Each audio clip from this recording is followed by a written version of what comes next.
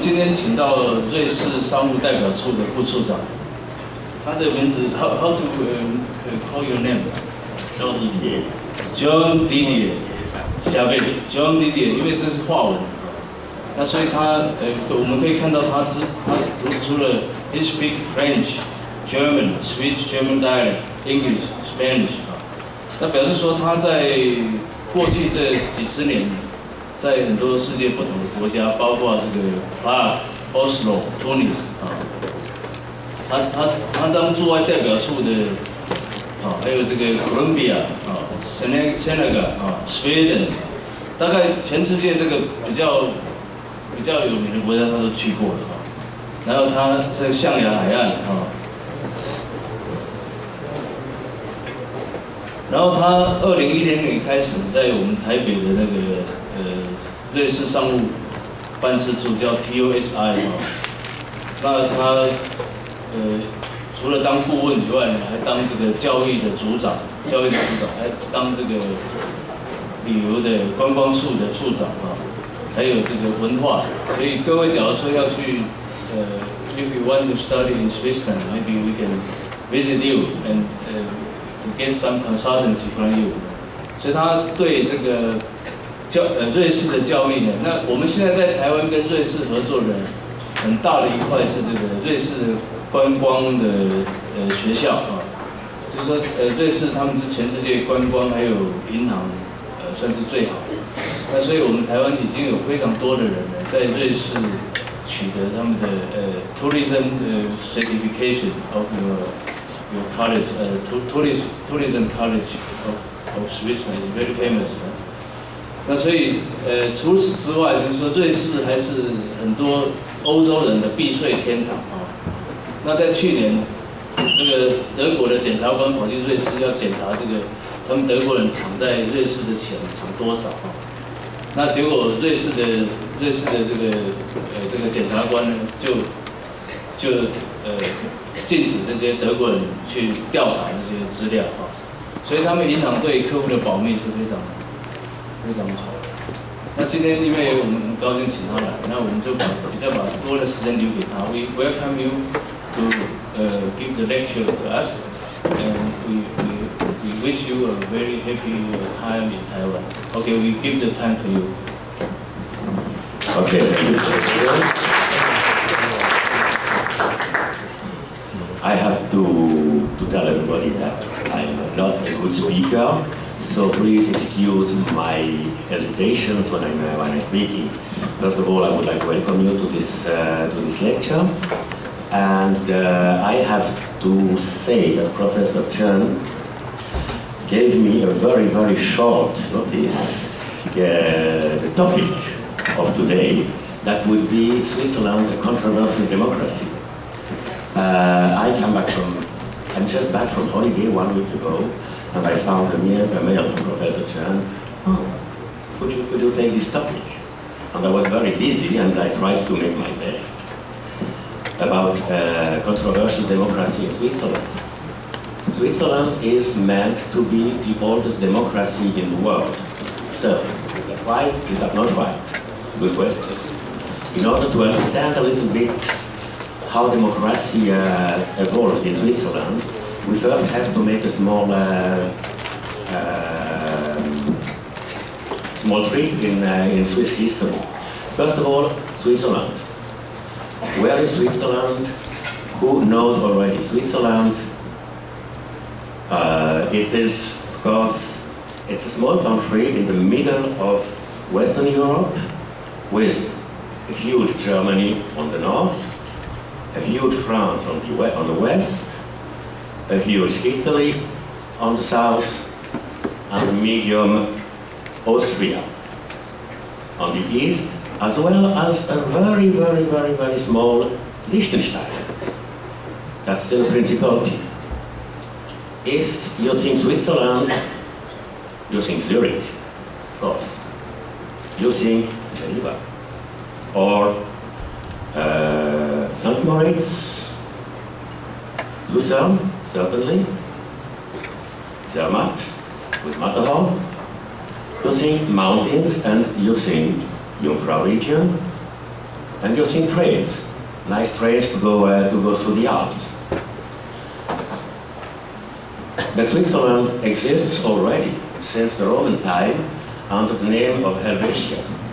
The Roman, uh, the Roman Empire invaded Switzerland and left some uh, remains in uh, uh, Octodurum, Aventicum, or uh, Augusta Raurica. So this for the very, very old age. In the year Sono, also, the legend says 1291. First of August 1291, but that's the, that's the, the legend.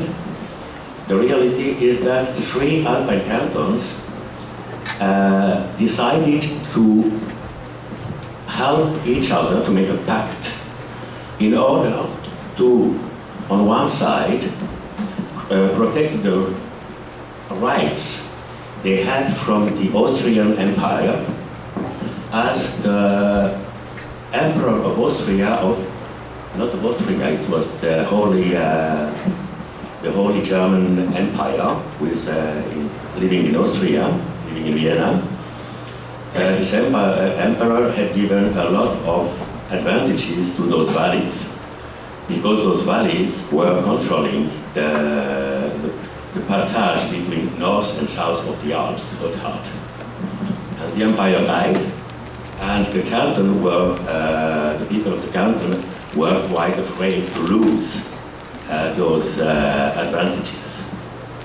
In the course of the years, there are some cantons adding, Lucerne, first, Zurich afterwards, Glarus and Zug, a little bit later, then Bern. Bern, if you watch, it's about 50 years that Switzerland begins to exist. There are two colors, green and blue. I will say why a little bit later.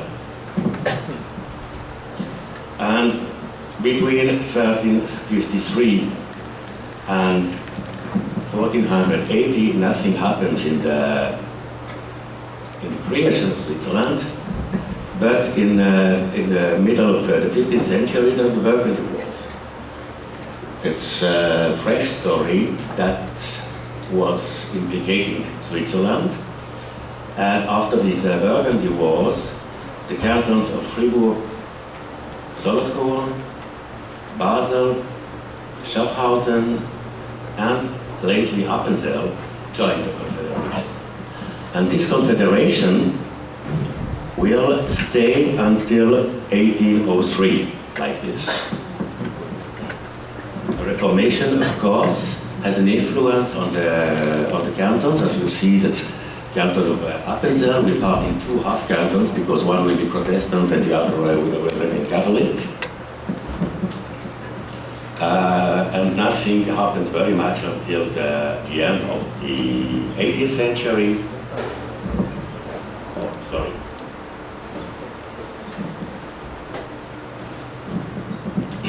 Okay. I come in the, in the meantime. Uh, those, this part of Switzerland, they also had invaded some, uh, some parts of the, some rest parts. In yellow, so known uh, bailliage. And common bailliage, it means uh, common, uh, those parts belonged were, under the rule of several, one canton or several cantons. Also uh, territories and uh, common territories. In fact, of course, my card is a modern, a modern card. In fact, it, it, was looking like that.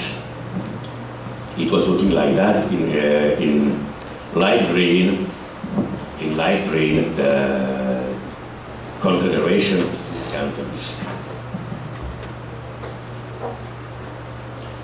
So they had those, uh, those uh, common, common territories. In dark blue, I'm sorry, I forgot it. In dark blue, that is a possession of the canton of Bern.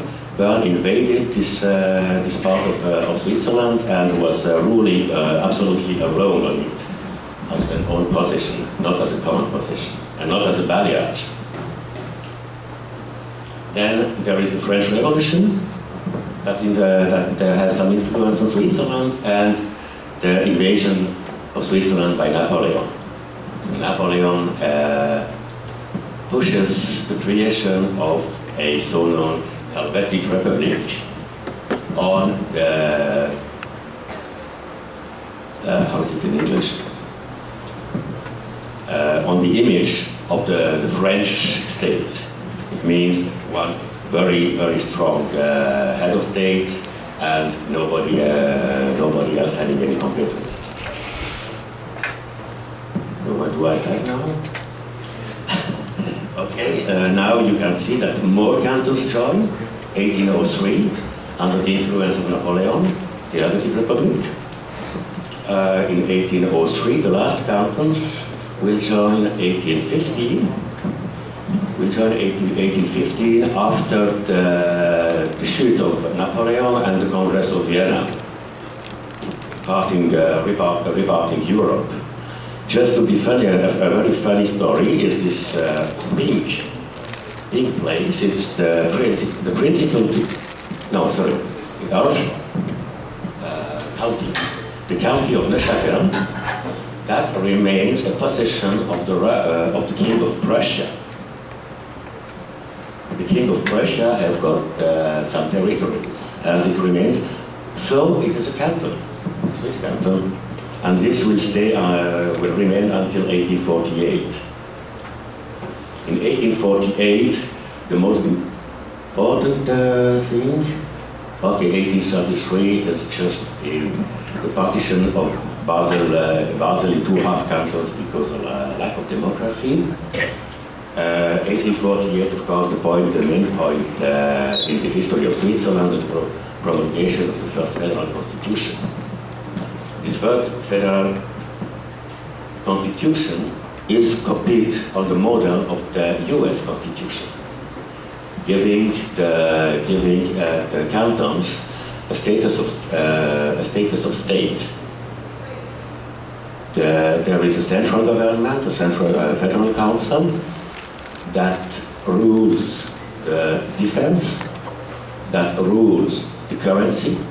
You imagine that before the promulgation of the constitution, every canton has its own currency, has its own toll barriers so that uh, every uh, uh, the goods traveling through Switzerland had to pay uh, toll tax.